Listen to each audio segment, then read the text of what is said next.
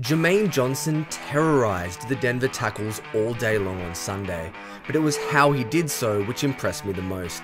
Let's take a look at the All 22 and talk about the evolution of JJ. Let's go. What's going on everybody, it's Luke here from Play Like a Jet and we are back in the film room with another All-22 breakdown and today we're looking at Jermaine Johnson, the pass rusher, and how he disrupted and dominated the game against the Denver Broncos. But it was how he did so He's all about nuance, the cross chop, Euro step footwork. You can see this play on the screen now. That is who Jermaine Johnson has been as a player. But he wowed me with his bull rush ability. He had six pressures against the Broncos, and those plays ended up in a total of negative two yards for Denver. We're going to start with the sack he had here in the third quarter. Jermaine Johnson unusually rushing from the left defensive end spot. Have a look at this at full speed. JJ, speed to power, get off me, and then ends up in Russell Wilson's lap for the sack. As always, I talk about it all the time. At the line of scrimmage, low man wins, tight man wins. If you control the chest, you control the rep, and that's what Jermaine Johnson does well. He gets tight on the tackle, parachutes his hands outside, and then look at him convert that speed to power and finish the play for a loss of 11 yards. Jermaine Johnson has evolved. He is evolving. It's not just finesse anymore. He is blowing up tackles straight through their chest, and that is going to make him so hard to stop.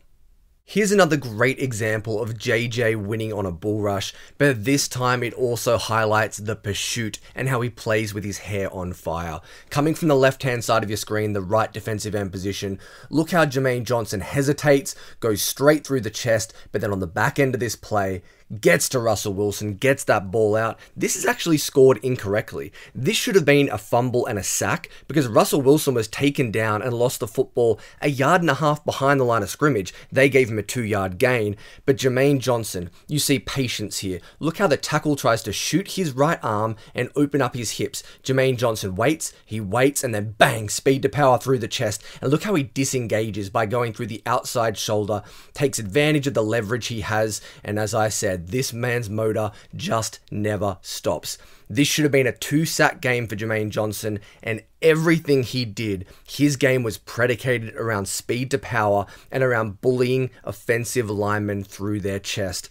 This was an awesome rep from JJ in a huge moment in the fourth quarter. He helped seal the victory for the New York Jets.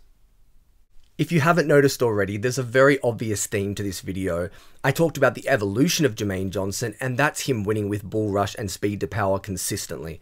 Here's another great example of it. From the left hand side of your screen, off the snap, watch how JJ uses his length, extension, power, and Russell Wilson is just flushed in two seconds. He's got a bail, he throws it away, and it's another example, and I talk about this with Quinnen Williams, of JJ just effing up the play.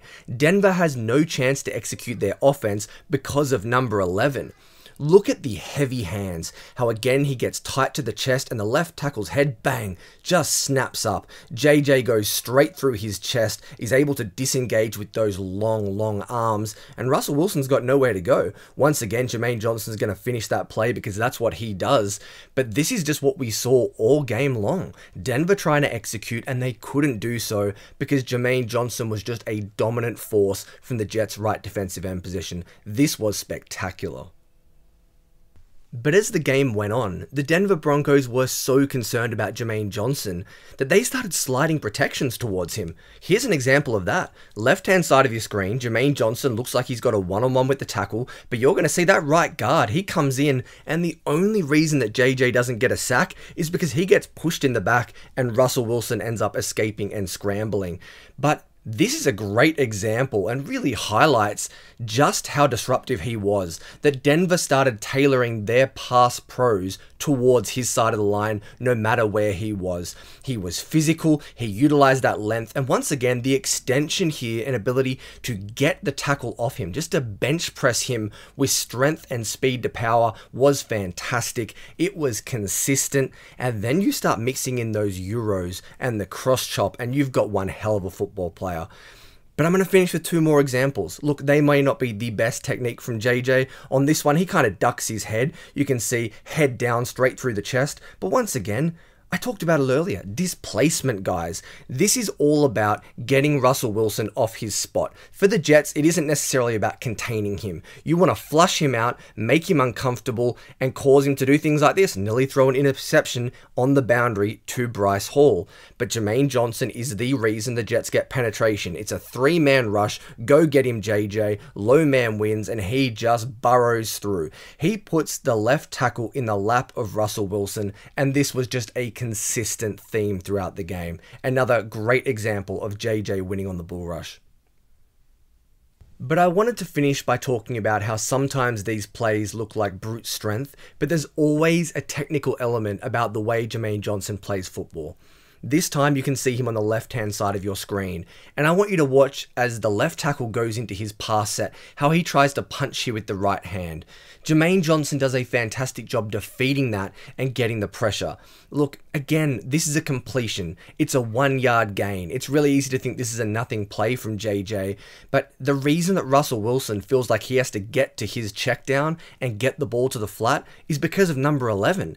He was just electric all game long. And I mentioned it. Right arm stab from the tackle. Jermaine Johnson says no. Look at the result. You see, number 72's right hand gets flung backwards. He has lost the battle at the line of scrimmage at the point of attack, and Jermaine Johnson once again marches him, I don't know, six, seven yards right into the spot where the quarterback is standing.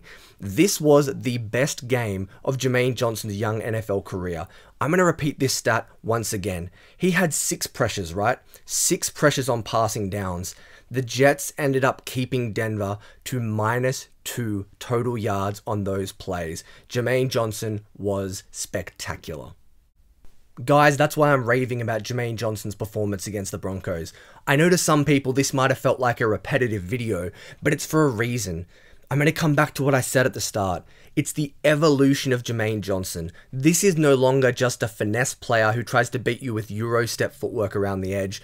He can straight up take over a game with his bull rush alone.